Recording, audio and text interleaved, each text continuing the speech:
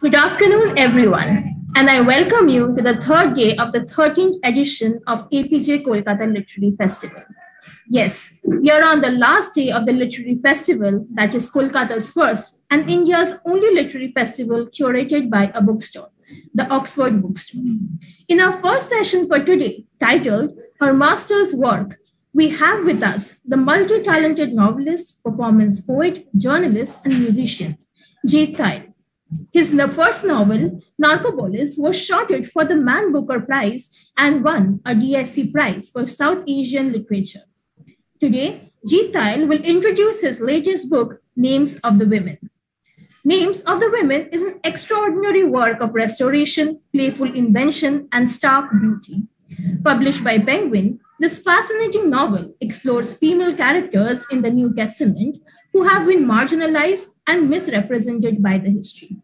I will leave it right here and hand over session to the author himself, Jeet Thayil. Over to you, sir.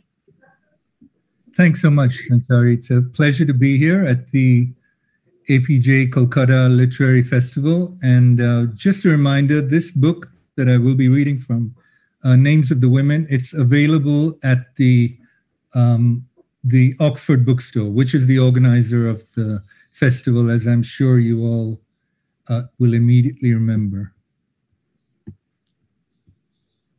So I'm going to uh, read a a couple of pages from uh, Names of the Women. And the opening section that I'm going to read is a, uh, it's from the point of view of uh, a character called Old Mary, who is the mother of James and Salome. And she's a very minor character in the Bible, uh, as are most of the 15 women in this book. Um, this is just a way of trying to uh, understand what it is that made the women in the New Testament um, the the true followers of Christ and uh, the bravest of of his followers.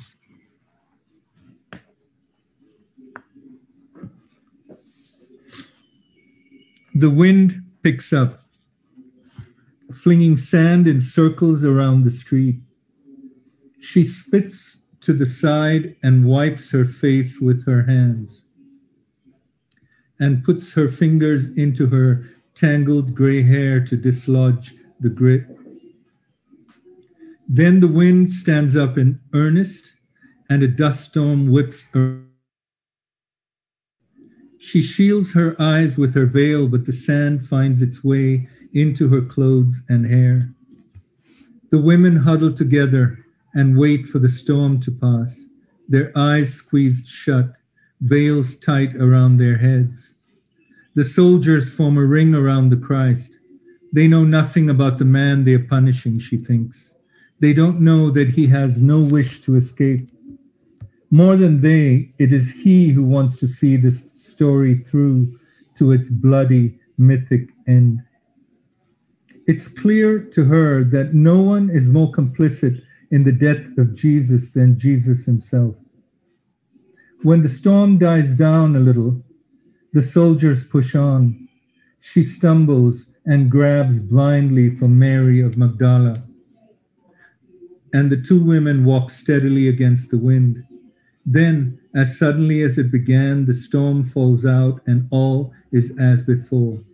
There's no sign of its passing, but a film of sand that covers the city. This is when she sees the birds, dozens of mockingbirds and sunbirds and birds she doesn't know the names of, small knots of feathers dropped on the road around her. She picks one up, soft and dust colored, small as her thumb and already stiffening. Its wire claws point at the sky. By her feet, she sees more small bundles, a wash of them. And this is another terrible thing on a day of terrible things, unimaginable occurrences, bitter omens of catastrophe, birds fallen dead from the sky. She puts the creature down with its claws facing to the side. Then, shivering, she joins the other women. She feels herself moving between the world she has always known the clean edges of things that have been a part of her life since she was a child, and the world that is to come. A world of fear that blots out the sunlight. When she was young, her father would tell her about other lands, that the earth was a vast place and its exact dimensions could only be imagined, that nobody knew how deep the oceans went or how high the sky. Today, on a day when she has gone further into the world than she ever thought possible, she senses her father reaching out to her in the shape of hands made of sand, a storm figure seeking to embrace her. At the last moment, just as it seems he would touch her, after hours and years of reaching, he falls to the ground and breaks into particles, a film of dust or a handful of dead feathers flung from the sky. Excuse me. When they reach the hill and the hammering begins, she loses all sense of herself. Hours must have passed. The light has leaked out of the evening. She sees that they've nailed the crossbeam to a plank of timber already planted in the ground. They position his limbs as if they're handling a suit of clothes. He doesn't struggle or cry out. He offers no resistance. And so it's over quickly. The roping of his arms to the cross, her visions brighten, and she feels she's coming up with a fever. Against the promise she made to herself, she looks away when the first nail is hammered into the small of his wrist, his slender wrist that will shred against the iron before long. She looks away, and her thoughts roam where they will, and for some reason she remembers the Canaanite. She was 10 or 9 she and her sister were playing at the front of the house when the man approached.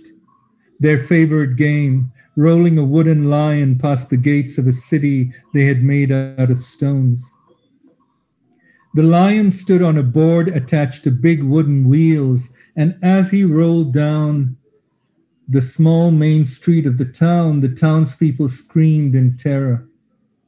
Some among them didn't scream, but surrendered meekly as if to a new God. She was so engrossed that she didn't look up when the visitor shuffled past. All she noticed was that his feet were cracked at the heels, cracks so deep they might have been made by a butcher's knife, and that he was told to come to the back of the house. She stopped playing lion and went inside. Her father stood impassively at the back porch, staring at the visitor. The man sat in the noon sun, near their fields of white barley, his eyes on the meal he'd been given. He was eating from a plate her family did not use. She asked why the man had not been welcomed into the house, and her father explained that he was a Canaanite. She asked him what that meant, and her father said, He is the slave of slaves. She looked carefully at the man. It would show on his face, she thought. His condition would show in his eyes or his nose. There would be markings and ceremonial slave scars. His hair would be unusual, and his skin and his manner of speaking and eating. But she could see no difference between him and her father except that her father's clothes were finer and his skin was fairer. Otherwise, they could have been enemies. Sorry, otherwise, they could have been cousins. Before the man left, her father took a pitcher of water to him, and the man cupped his hands and drank. He washed his face and thanked them for the food and left as silently as he'd come. For some reason, she remembers him now, the Canaanite, as she hears a sound like the splintering of wood and looks up to see a soldier driving a long square nail into the sweet bones of his feet. Grunts of pleasure from the Romans and Jews scattered about the hillside. They've been waiting for this moment. Their faces, like the face of the woman from the temple, are unremarkable in every way except one. They know to hide the emotion that fills them. She wonders if there will come a day when those who believe only in the rule of the sword, in destroying the outsider and the stranger, will give up their power over those who believe in kindness. Otherwise, why does he suffer on the cross? And what meaning is there in his death? She hears the grunts of pleasure and cries of shame and anguish from those who are gathered at the base of the cross. Dizzy, she tilts her head and looks up and notices that his lips are moving. What is he saying? She hears the name Mary, but it is not she who is being addressed. She is old Mary, mother of James and Salome. Thank you.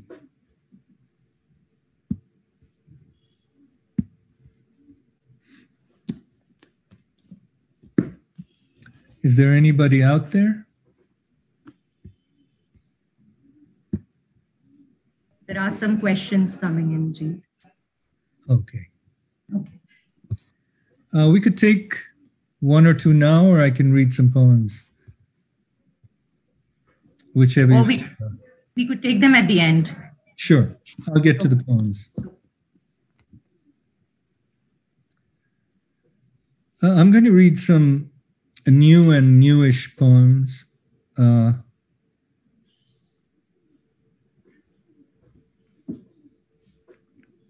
these were all written in the last year or two. And some of them actually in the last couple of months, like this one, which is uh, titled Old.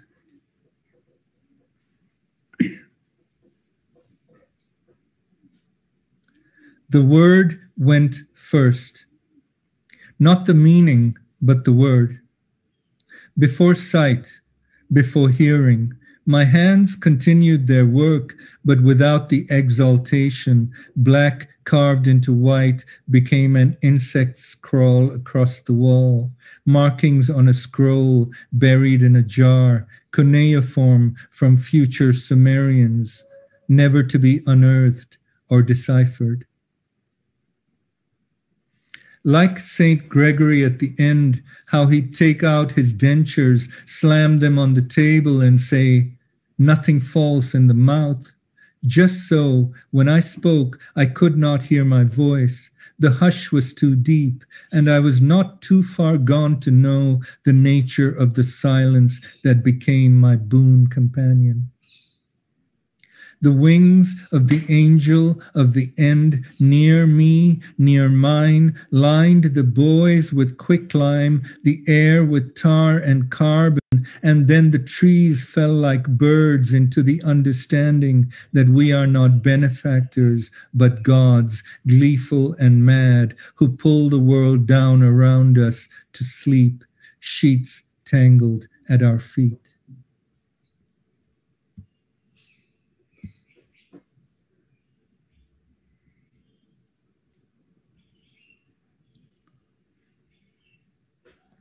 This is called February 2020. It's a ghazal.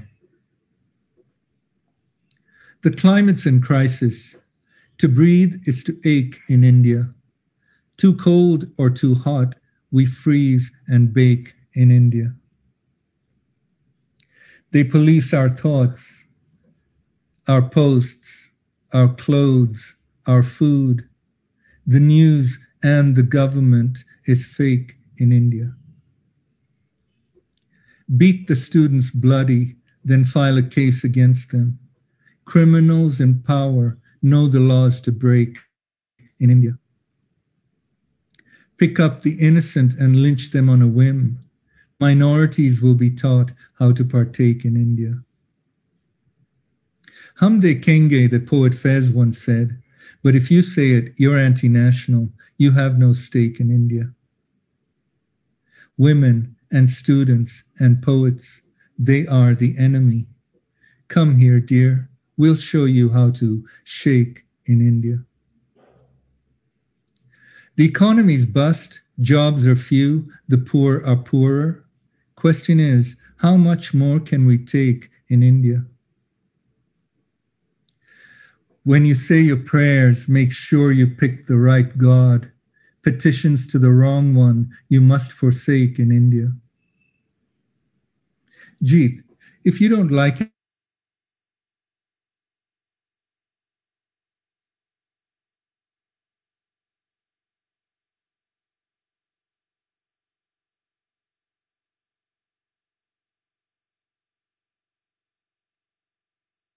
amnesia. And uh, for some strange reason, Donald Trump um, makes an appearance in one of the stanzas. I can't remember why my line breaks this way. In November, I cracked the day to see what might fall out. A congealed yellow sky. Mistake became. In December, I saw trees in flame, a bat with a double snout. The president likes pain. He's a big guy with a small, strange mushroom for penis and brain. The colors change. Everywhere is the same. I can't remember when I grew these fins. Was it now or then? Did we sink or swim? Hi, honey. What's your name?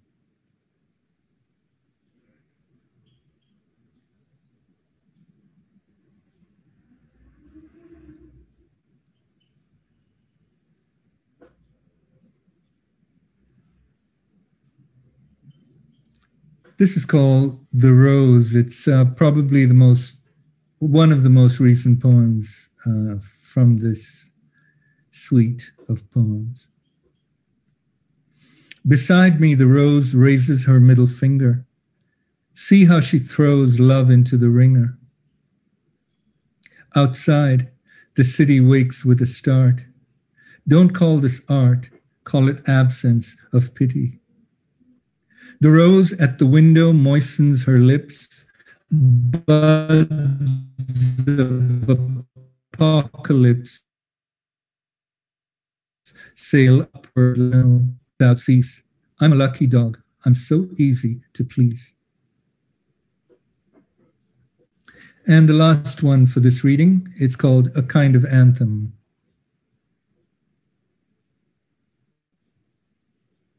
A nation you thought you knew, from Ashoka to Buddha to Gandhi to Nehru, in a single decade unravels into Muslim, Christian, Hindu, unholy trinity of saffron, green, and blue on a field of British white.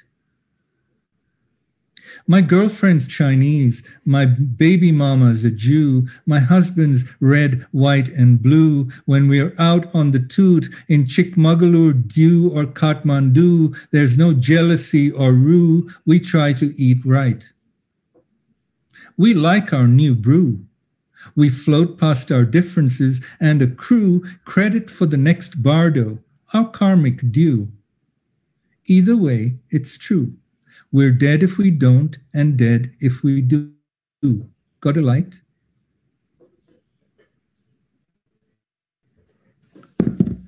Thanks. That's uh, that's it from me. Um, I guess I can take a question. You've got the questions there, Jeet, if you can uh, take them in the chat. Sure, yeah. Um, maybe maybe you should read it out so people have the context what the question is. Yes. Yes. Go ahead.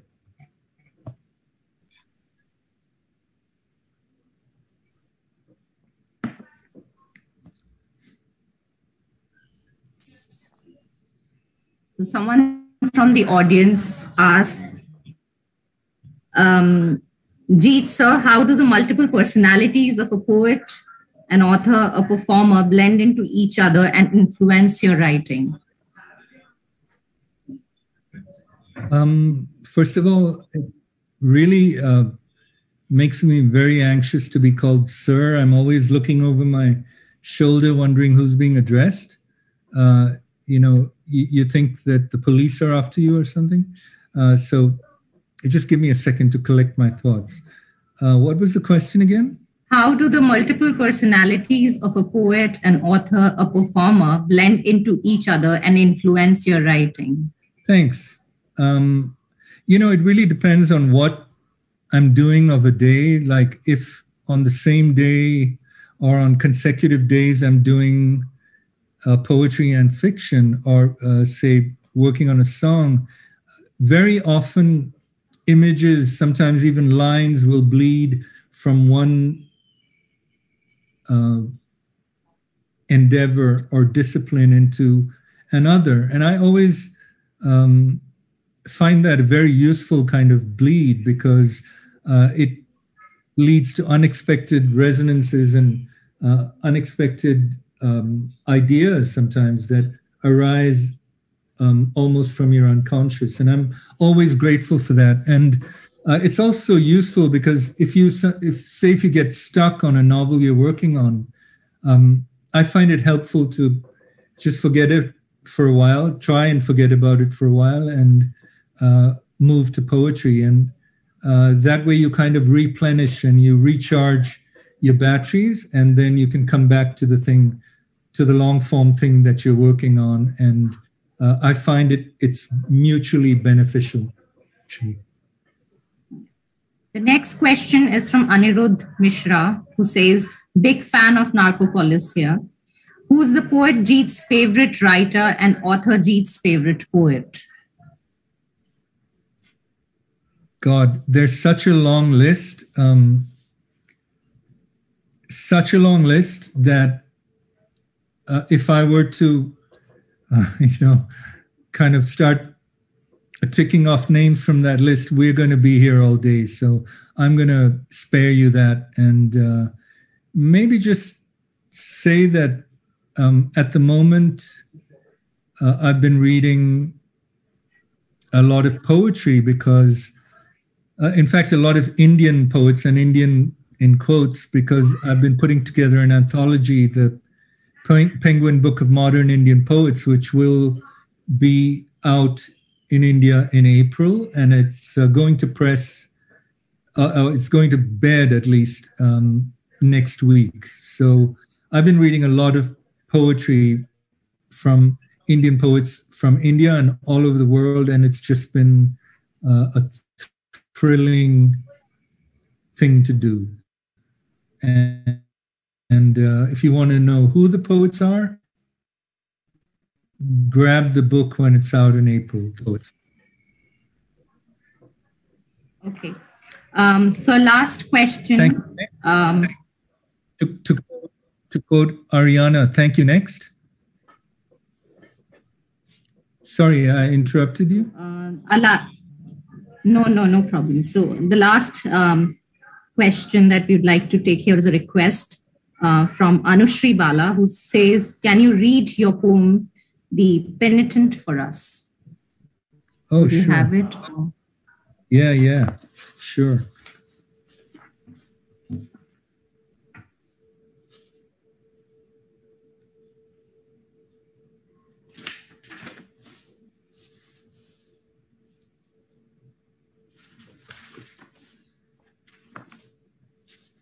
This is from These Errors Are Correct. And it's also in the collected poems. The Penitent.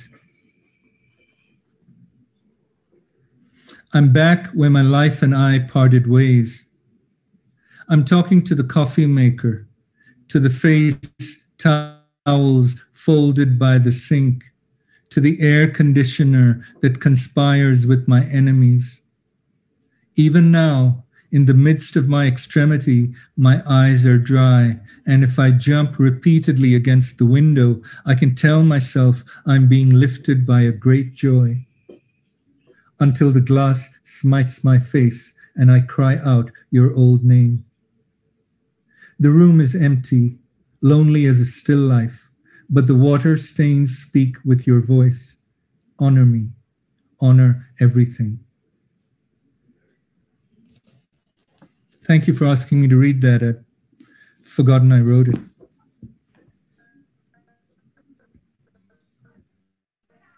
Thank you so much, Jeet. It was pleasure having you at Apeejay Kolkata Literary Festival. And we look forward to hosting you for a in-person, on-ground event for the next edition. Real pleasure being here. Thank, Thank you so much for asking me. Thanks.